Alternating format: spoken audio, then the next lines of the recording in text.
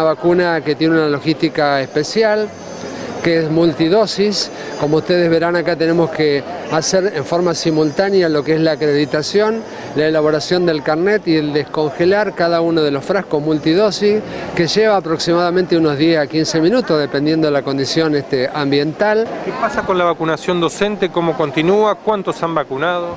La vacunación docente continúa, estamos apostados en el CEF 29, en el total de provincias llevamos más de 21.000 docentes ya vacunados, estamos ingresando a lo que es el nivel secundario, con lo cual alcanzaríamos una población de alrededor de 28.000 y si incluimos el nivel terciario, de acuerdo al número de dosis de vacuna disponible, estaríamos alrededor de los 30.000 este, personal de la docencia, incluidos auxiliares escolares, que creo que es una población objetivo que queremos tratar de alcanzar lo máximo posible antes del inicio del ciclo el día lunes 15. ¿Qué pasa con los universitarios nacionales, que en particular en la ciudad de Santa Fe muchos docentes universitarios. Siguen después de los terciarios o cómo se va a vacunar? Siguen en esa proporción exactamente igual que el adulto mayor, que esto depende no de nosotros sino de la llegada de la vacuna. ¿Qué saben de esta situación de algunos docentes que dicen haberse vacunado sin turno, que fueron al CES 29 sin turno, que había unos mails y también algunos WhatsApp dando vuelta? No, acá hubo una, una confusión en la comunicación, ¿no? En el día